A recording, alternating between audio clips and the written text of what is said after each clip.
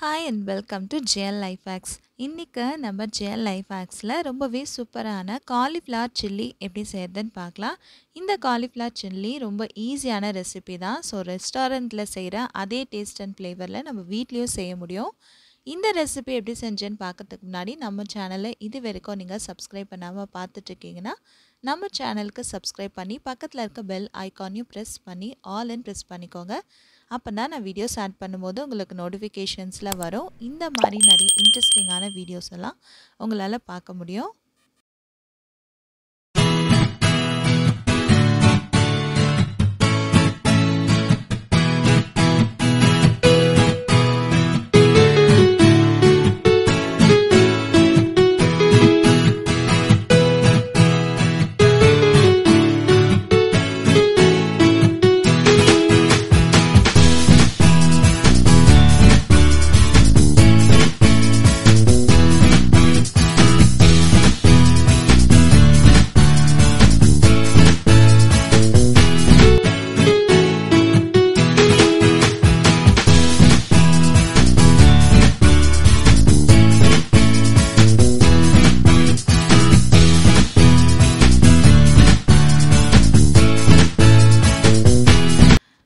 இப்போது இந்த cauliflower chilli எப்படி செய்யுதுன்னு பார்க்கலாம். இதுக்கு நான் ஒரு பவுலில் வந்து காலிஃப்ளவரை இந்த மாதிரி சின்ன சின்ன ஃப்ளாரட்ஸாக தனியாக எல்லாமே எடுத்து வச்சுருக்கேன்.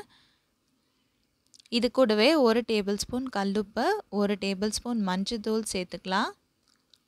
இது ரெண்டும் சேர்த்ததுக்கப்புறமா இதில் நல்லா கொதிக்கிற தண்ணி வந்து நம்ம ஆட் பண்ணணும்.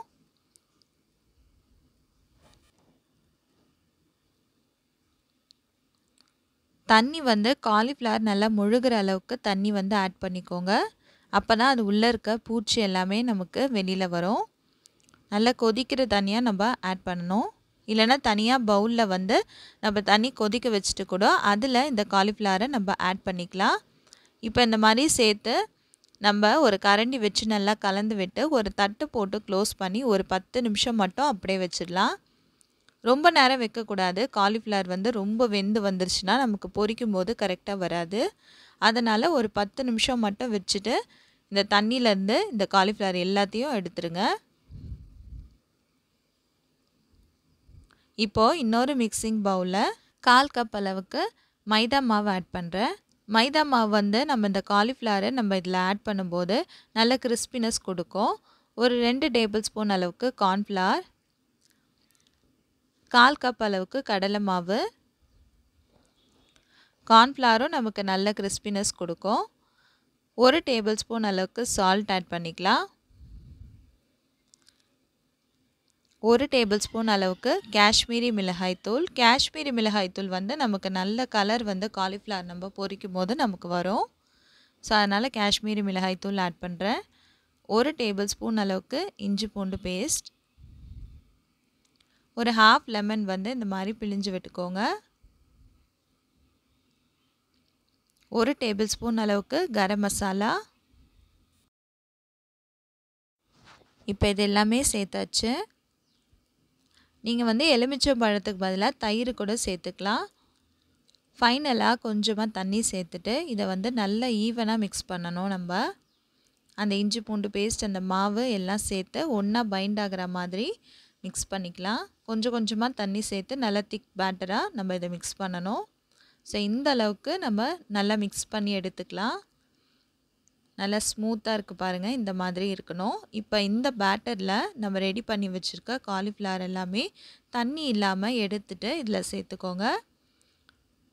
தண்ணி இருந்துச்சுன்னா மாவும் சேர்த்து தண்ணி ஆகிடும் ஸோ அதனால் தண்ணி இல்லாமல் எல்லாத்தையும் எடுத்துகிட்டு இந்த மாதிரி கை வச்சு இதை நல்லா பிசைஞ்சுக்கோங்க.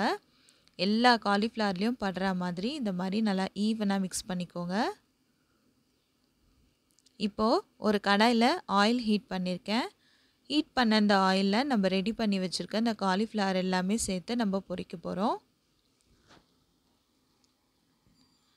ஒரு ஒரு பீசஸாக தனித்தனியாக நம்ம காலிஃப்ளவரை பொரிச்சோன்னா தான் நமக்கு நல்ல கிறிஸ்பியாக வரும். ஒரே சமயத்தில் நிறைய பீசஸ் வந்து சேர்க்காதீங்க. கொஞ்சம் தள்ளி தள்ளி தனித்தனி பீசஸாக நம்ம இதை பொரித்து எடுத்துக்கலாம்.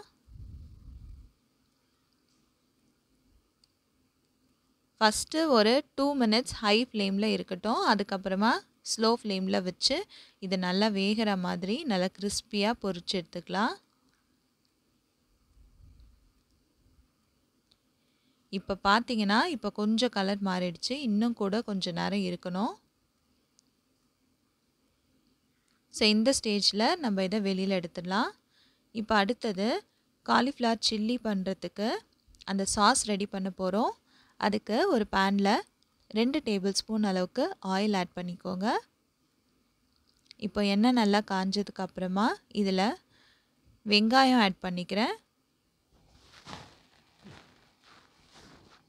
நான் இன்றைக்கி மூணு பெரிய சைஸ் வெங்காயத்தை இந்த மாதிரி க்யூப்ஸாக கட் பண்ணிவிட்டு இதில் சேர்த்துக்கிறேன். ஸோ இந்த ரெசிபிக்கு நம்ம இந்த மாதிரி க்யூப்ஸாக கட் பண்ணிவிட்டு சேர்த்தோன்னா ரொம்பவே நல்லாயிருக்கும். க்ரன்ச்சியாக இருக்கும் அங்கங்கே சாப்பிட்றதுக்கு. இப்போ வெங்காயம் கொஞ்சம் நல்லா வதங்கினதுக்கப்புறமா இதில் வந்து நம்ம இஞ்சி பூண்டு பேஸ்ட் கொடமிளகா இதெல்லாம் சேர்த்துக்கலாம்.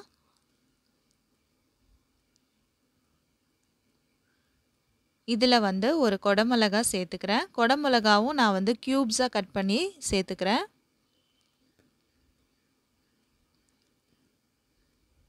ஒரு ஒரு ரெசிபிக்கும் நம்ம கட்டிங்கும் நமக்கு டிஃபர் ஆகும். ஒரு டேபிள் ஸ்பூன் அளவுக்கு இஞ்சி போட்டு பேஸ்ட்டு சேர்த்துட்டு இப்போ இந்த வெங்காயம் குடமிளகா ரெண்டும் சேர்ந்து நல்லா வதங்கணும். நல்லா ஈவனாக மிக்ஸ் பண்ணிவிட்டு இதை வதக்கி எடுத்துக்கோங்க.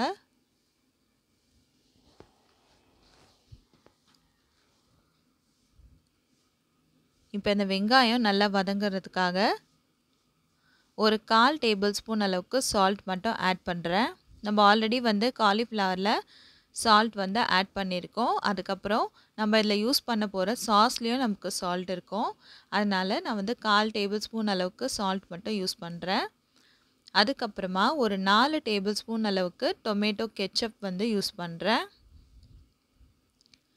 டொமேட்டோ கெச்சப் கூடவே நம்ம வந்து மிளகாய் தூள் பயன்படுத்தலாம். அது வந்து நல்ல காரம் நமக்கு கொடுக்கும். ஒரு ஹாஃப் டேபிள் ஸ்பூன் மிளகாய்த்தூள் மட்டும் யூஸ் பண்ணுறேன் இப்போ இது எல்லாத்தையும் சேர்த்து நல்லா மிக்ஸ் பண்ணிக்கலாம். மிக்ஸ் பண்ணிவிட்டு இந்த சாஸ் வந்து கொஞ்ச நேரம் ஸ்லோ ஃப்ளேமில் வச்சு நம்ம குக் பண்ணணும். அஞ்சு நிமிஷத்துக்கு அப்புறமா பார்த்தீங்கன்னா இந்த மாதிரி நல்லா திக்காக வந்திருக்கு. இது கூடவே ஒரு டேபிள் ஸ்பூன் அளவுக்கு சோயா சாஸ் ஆட் பண்ணிவிட்டு அதையும் நல்லா மிக்ஸ் பண்ணிக்கோங்க. இப்போது இந்த இதிலே வந்து நம்ம காலிஃப்ளவர் ஆட் பண்ணி ட்ரையாகவும் செய்யலாம். நான் வந்து இன்றைக்கி கொஞ்சம் கிரேவியாக பண்ணுறதுக்காக இதை கார்ன்ஃப்ளவரில் நான் வாட்டர் ஆட் பண்ணிவிட்டு இதில் சேர்க்க போகிறேன் ஒரு டேபிள் ஸ்பூன் கார்ன்ஃப்ளவருக்கு ஒரு டம்ளர் தண்ணி ஆட் பண்ணிவிட்டு ஒரு ஸ்பூன் வச்சு இதை எந்த வித கட்டிகளும் இல்லாமல் நல்லா கலந்து விட்டுக்கோங்க. இந்த மாதிரி நல்லா கலந்துட்டு அதுக்கப்புறமா நம்ம இந்த கிரேவியில் இதை ஆட் பண்ணிடணும். இந்த மசாலாவோட பச்சை வாசனை போனதுக்கப்புறமா தான் நம்ம இந்த கார்ன்ஃப்ளவர் ஸ்லரியை இதில் ஊற்றணும் முன்னாடியே ஆட் பண்ணிட்டோன்னா காரம் ரொம்ப அதிகமாகிட்ட மாதிரி ஆகிடும் இப்போ அந்த கார்ன்ஃப்ளவர் மிக்சரை இதில் ஆட் பண்ணியாச்சு. இப்போ இது ஒரு அஞ்சு நிமிஷம் ஸ்லோ ஃப்ளேமில் வச்சு நல்லா குக் பண்ணிக்கோங்க. இப்போ பார்த்தீங்கன்னா உங்களுக்கே தெரியும் கலர் நல்லா சேஞ்ச் ஆகி வந்திருக்கு. இந்த ஸ்டேஜில் நம்ம காலிஃப்ளவர் பீசஸ் எல்லாத்தையும் ஆட் பண்ணிவிட்டு ஈவனாக இதை மிக்ஸ் பண்ணி விட்டுக்கலாம். உங்களுக்கு வந்து இந்த கிரேவி மாதிரி வேண்டாம் அப்படின்னா கார்ன்ஃப்ளவர் மிக்சரை ஸ்கிப் பண்ணிவிட்டு நீங்கள் அந்த ஸ்டேஜ்லேயே காலிஃப்ளவர் ஆட் பண்ணிவிட்டு சர்வ் பண்ணிக்கலாம்.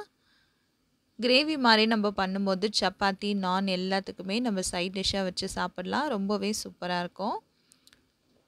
காலிஃப்ளவர் சேர்த்துட்டு ஒரு ஃபைவ் மினிட்ஸ் அப்படியே விட்டுருங்க. அஞ்சு நிமிஷத்துக்கு அப்புறம் பார்த்தீங்கன்னா மேலே இந்த மாதிரி ஆயில் தனியாக செப்ரேட் ஆகி வரும். இந்த ஸ்டேஜில் நம்ம ஃபைனலாக கார்னிஷிங்க்கு கொஞ்சமாக கொத்தமல்லி சேர்த்துட்டு நம்ம இறக்கிட வேண்டியது தான் அவ்வளோதான் நம்மளோட சூப்பரான காலிஃப்ளவர் சில்லி ரெடி ஆயிடுச்சு. இந்த ரெசிபி உங்களுக்கு ரொம்பவே பிடிச்சிருக்கோன்னு நினைக்கிறேன். இந்த ரெசிபியை கண்டிப்பாக நீங்கள் வீட்டில் ட்ரை பண்ணி பார்த்துட்டு எப்படி இருக்குன்னு எனக்கு கமெண்ட் செக்ஷனில் கமெண்ட் பண்ணுங்கள் இந்த வீடியோ உங்களுக்கு பிடிச்சிருந்துச்சுன்னா இந்த வீடியோக்கு ஒரு லைக் கொடுங்க. உங்கள் ஃப்ரெண்ட்ஸோடையும் ஷேர் பண்ணிக்கோங்க. நம்ம சேனல் ஜிஎல் லைஃப் ஆக்ட் சேனலுக்கு சப்ஸ்கிரைப் பண்ணுங்கள்